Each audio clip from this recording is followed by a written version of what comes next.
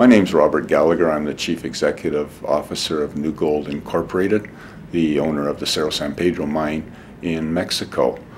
In light of erroneous reports uh, currently circulating, I feel it is important that I set the record straight on the facts associated with our mine.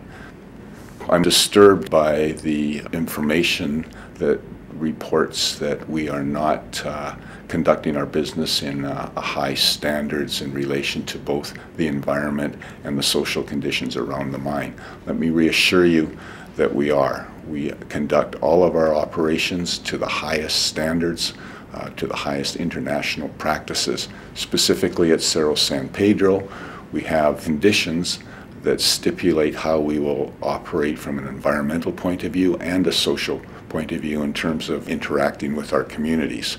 The results of those um, requirements are audited on an annual basis by an internationally known consulting company, and we have to 100% basis complied with all of those terms. So we're, we're very satisfied with the way we do business.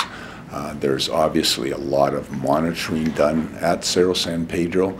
We have water sample analysis from before uh, and during our operation, and there has been no change in the quality of the water around the mine.